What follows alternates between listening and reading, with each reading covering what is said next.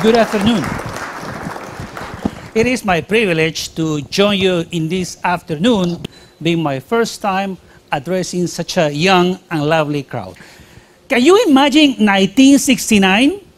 More than 50 years ago, when your grandpa and your grandma were going to school. Yet, that year was the year when the internet was initially conceived, when four universities got connected for the first time. So the internet today is second nature to us. But back then, if you wanted to know what the internet is going to be in the future, it would have been impossible to realize. Today, we're going to try to answer this question. What is the metaverse? However, knowing that the many answers that I can try to provide you today will be only a limited view of what the real metaverse is going to be looking like in, let's say, five years, 10 years, and so on. You might have seen your parents using laptops. Before laptops, there were PCs, clunky CPUs connected to monitors with heavy cables, connected to an Ethernet cable to access the internet. Then in 2010s, we had a revolution. The smartphone came. So all these great applications that were available through PCs or laptops now became available also through a mobile phone, and you could take it anywhere. This development allowed billions of people all over the world to access the internet for the first time. So the computer phase, we have now the smartphone phase, and now we're moving to the next phase, which is going to be accessing those resources using metaverse devices. So it's a new stage for the internet. We'll still be able to access the lots of information available in universities, institutions, libraries, museums, but now through a different medium, promising a new level of interactivity through either glasses, for example, that you see in the media, that will allow us actually a new type of experience. And that is the promise, or at least is what most people agree, is the common premise of what the metaverse is going to look like. There was a book that talked about a virtual world by Neal Stephenson. And that was the first time in literature that we learned about this concept of the metaverse, a virtual world, a continuation of a physical existence into this virtual world.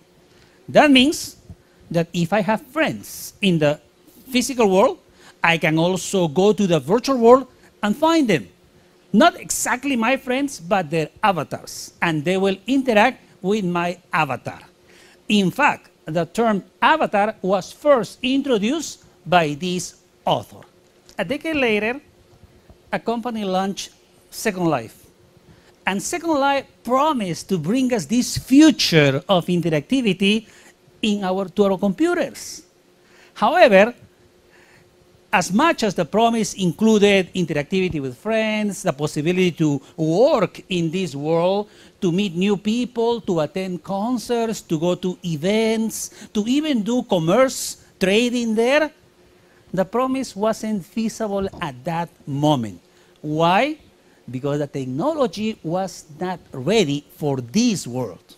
One of my son's most popular complaints when he's working in the computer, playing his games, is that the computer lags, that it's very slow, that it's clunky, that the game gets lost. Can you imagine what was happening 20 years ago? Second Life wanted to offer a new world. Yeah, the technology was so behind, or at least it wasn't that developed back then, that when people wanted to connect with other people, it didn't work that well. So that 3G connectivity of that moment, the PCs, the processors at that stage didn't really help this offer to achieve its potential.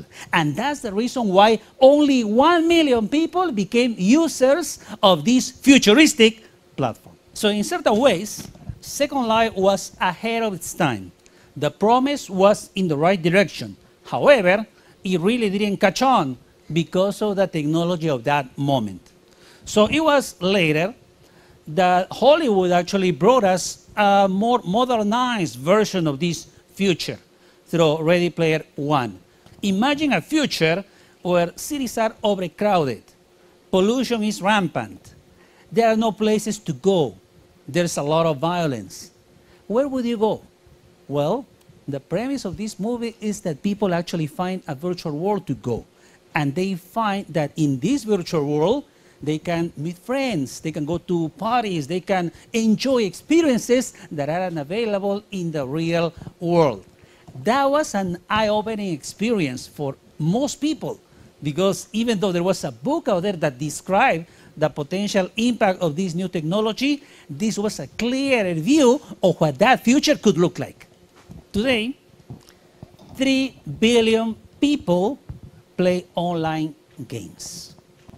So just to give you an idea, we are more than 7 billion people in the world. And that means that almost 40% of the population already have experience online gaming. Now, there are many popular titles all over the world. In fact, my son started playing Minecraft along 180 million people all over the world. Now he is forgetting about Minecraft, but now he likes Roblox, another very popular platform around the world, joining more than 200 million other users at any given time. Those are some of the most popular games out there, meaning that the kids of today are growing, interacting with other friends and with experiences in that medium. That's not gonna go back to the old days when we used to read newspapers, when we used to listen to the radio, watch classical TV, the world is changing and it's not going back. Young generations are growing in a new environment, meaning that they probably won't be having access to the internet through PCs, through laptops, even through smartphones. At the end of the day, that's also a transitional technology that will be giving access to other ways to experience new connectivity options in the internet.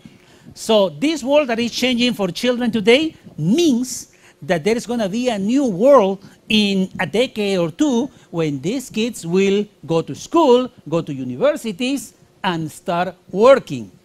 This change will follow them through all their lives. So what is the metaverse? The classical definition, it's a collection of virtual worlds that exist, all of them at the same time, and that you are able to visit in the same way that you go home and can go from your living room to the kitchen to the bedroom with no problem. We no need to open new keys or to change avatars, nothing. So this world, it's still in development. What we have today are platforms like Roblox, Minecraft, Fortnite, and many others.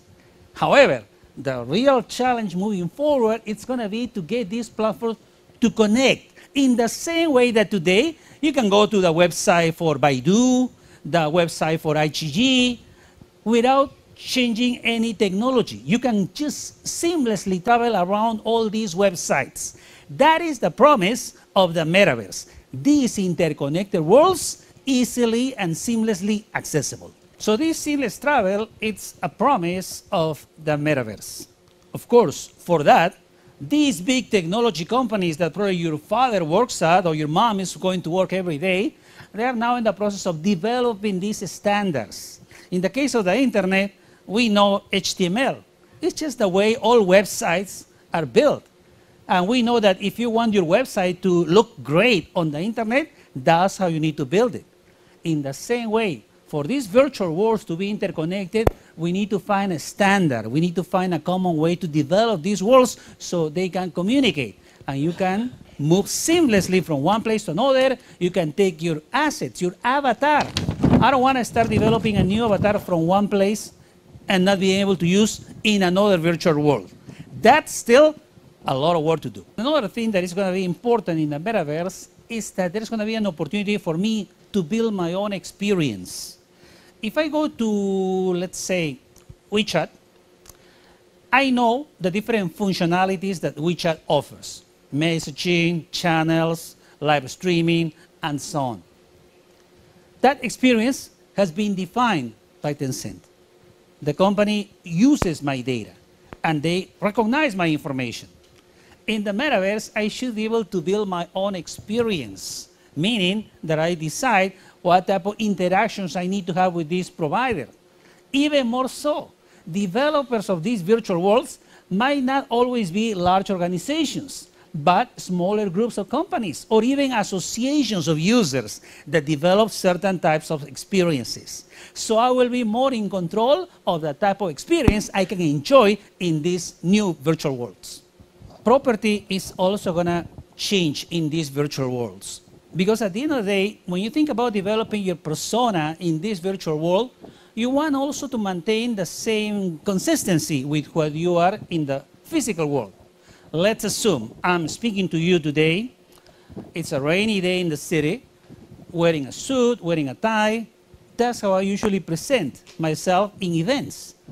At some moment, this event will be held in the metaverse. And equally there, I will also need to dress in a virtual world similar to the one I'm maintaining in the physical world. And for that, I will need to get my own suit, my tie, and so on. So this is a type of asset that I will own in this virtual world. This asset hopefully will be used across different platforms. I don't want to be buying my suit, my virtual suit, let's say in for WeChat, and then I will need to buy another suit for a live streaming session through Huodongxing, for example. That's something that will be a pending task for developers to maintain this property, to be able to use these different assets that ultimately you need to buy or develop online through different platforms. So let's welcome these infinite possibilities of the metaverse. If somebody told you 15 years ago, if you want to go from point A to point B, you only need to get your phone, open an application, mention where you are, where you're going, and zoom. There will be a taxi coming to pick you up. You wouldn't have believed it. It would have been impossible to imagine that 15 years ago. Yet, with the advent of 4G at that time, more powerful smartphones, and the creativity of developers, now we have access to many of these tools that allow us to do so. This just to give you an idea that the possibilities that the metaverse will bring are endless, and many of them are still unimaginable today. For the last three years, we have been impacted by a serious disease. And that meant that many times we had to stay at home, interacting with friends online. The same trend was also displayed across the world.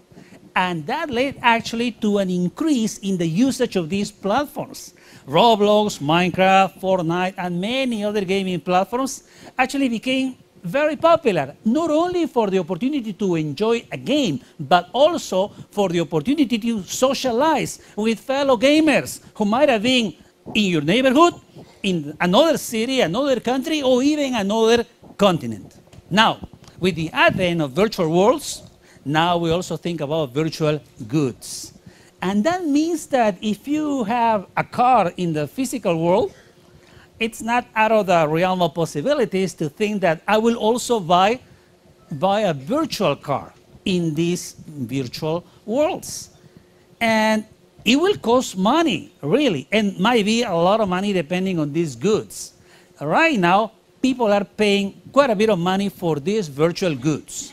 Now, you might tell me, how on earth I'm going to be paying real money for virtual goods, goods that only exist in these virtual worlds? Let me ask you something. Are you familiar with La Mona Lisa from Leonardo da Vinci? Do you think we can buy the Mona Lisa? First of all, it's not on sale. You can definitely see it, enjoy it in the Museum Louvre in Paris, if you had to make a big line, and you're going to only stay probably meters from the Mona Lisa, which is protected in an enclosed container. That's all we can do, most of us. However, the Mona Lisa, as many other factories, institutions, or garages, or any type of infrastructure, needs to be insured. That means that the museum has insured the Mona Lisa, and the estimation of the value of this piece of art is $400 million.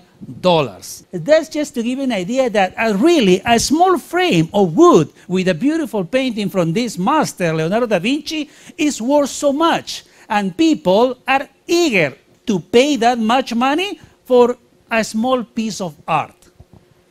I'll show you with this that in the virtual world, if you find something unique, something original, people will be willing to pay for that. So in the same way that I can buy a car in the real world and I can drive it from point A to point B, I can also buy a virtual car that will take me from my virtual home to a virtual concert by my favorite artist. So events, concerts, any type of meeting that used to be physically held in a physical venue now will be held in the metaverse. And famous artists all over the world have already experienced with this medium. In fact, concerts in famous platforms such as Fortnite having also held, hosting 10 million people from all over the world attending virtually for these concerts. So in the same way for concerts, meetings like this could also be held virtually in the future. And that means that you don't have to leave home and take the train or the subway or the taxi to come to this event. You can enjoy this experience meeting with friends from a comfortable place in your home. So virtual venues will give us access to a new world of experiences, meeting friends, meeting colleagues, meeting clients through these virtual spaces. So even banks, for example, you might help your parents to go to the bank. You might join them when they go to the bank to open an account, to deposit some money, for example. Now, instead of going to a physical branch for a bank, you can go to the virtual version of this in a virtual world.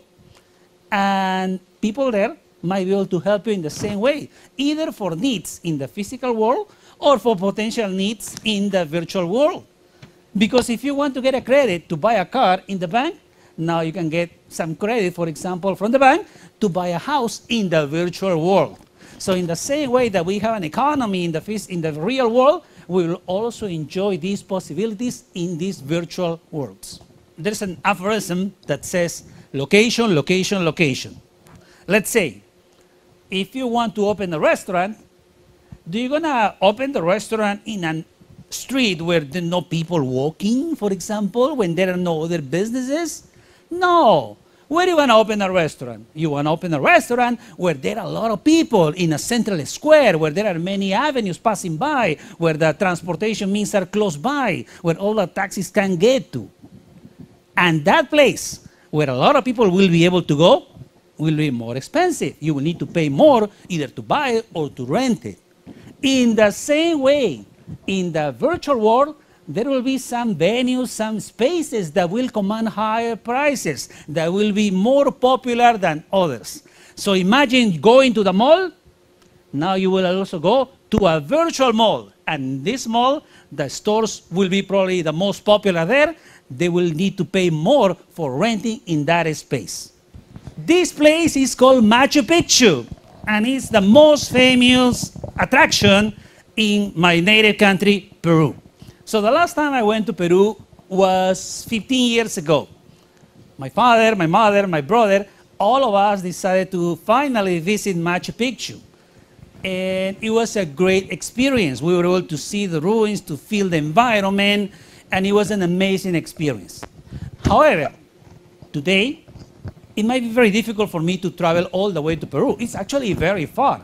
However, the metaverse can be the place that can facilitate my virtual visit back to Machu Picchu. Either the government or a private company might be able to create versions of this attraction for a virtual world, creating the opportunity for me to experience the sights, the sounds, even the smells of this place from a comforting place in my home. Furthermore, going to these virtual places will be an opportunity not only to experience new places, but also to connect with people equally visiting these places.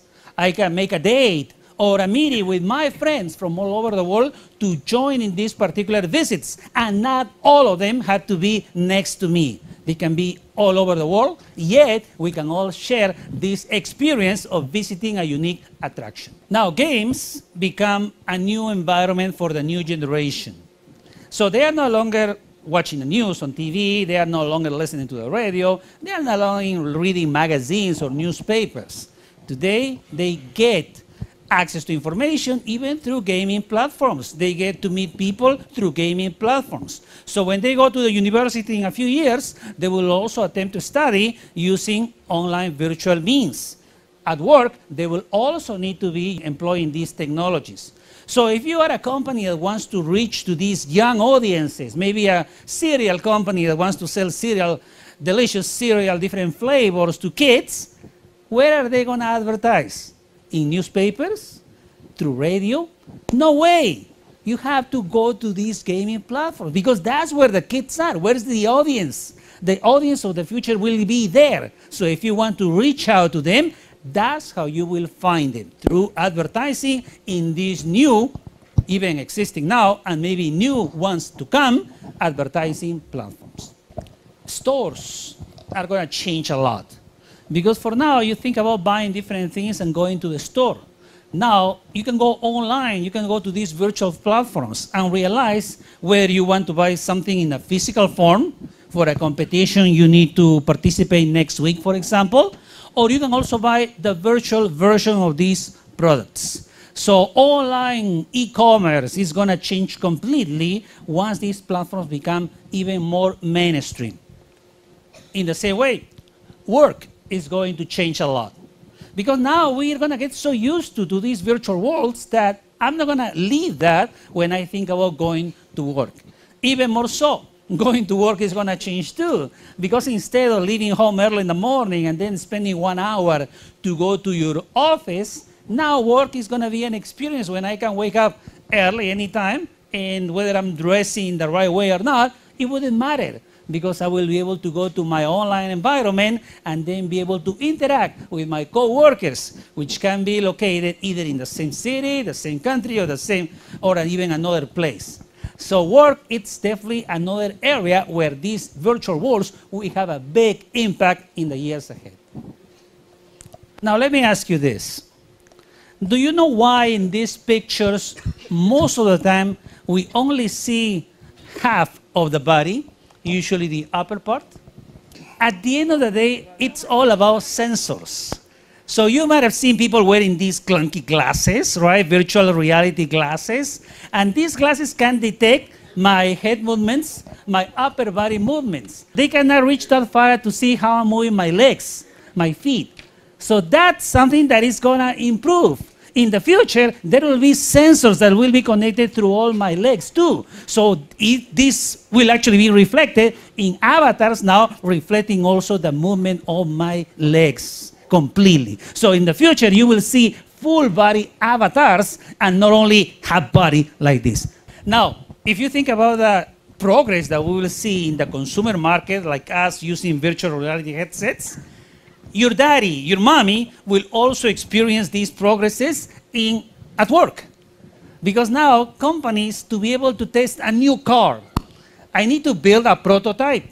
And this car has to be tested across different conditions. For example, for protection, how am I going to design a seat belt? How am I going to design protection, these bags, for example, when accidents happen? For that, I need to create a car and destroy it because I have to run it against the wall, the car is going to be destroyed, and I have to get a new one too for the next round of testing. With these virtual worlds, I can actually create copies, digital twins of these objects, these systems. So my testing will incorporate the same properties of the real environment into these digital twins environments. So I can do this testing as many times as I need without destroying cars. And of course, in the same way that the internet created many opportunities for billions of people around the world, the metaverse will also create opportunities for people in both developed and developing countries. There are going to be many more activities that people will be able to do virtually in these worlds. For example, today, people in Africa might be able to provide services to people in China or to people in America, for example. And those services will be usually paid at the level of, level of expense of American cities or Chinese cities. Imagine how much higher that might be compared to what this person might obtain in his own, her own place in Africa. So they, in the same way that smartphones, 5G technology allow people in Africa to connect to the internet, to actually skip the PC era and go straight to smartphones. And with that, improve their well-being. The metaverse also promises a radical improvement in their life conditions for billions of people around the world. Instead of building a network of stores, for example, corporations or stores only need to buy, let's say, to build one particular store in one city.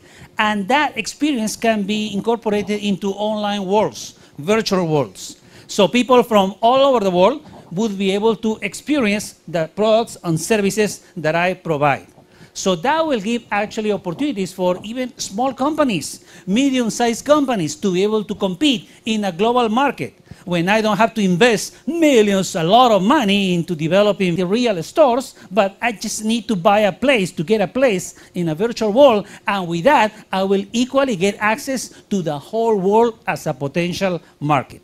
Systems have been trained on documents, texts, images, videos that already exist. Yet, these powerful models, helped by the technology available today, help us design something new with a simple request.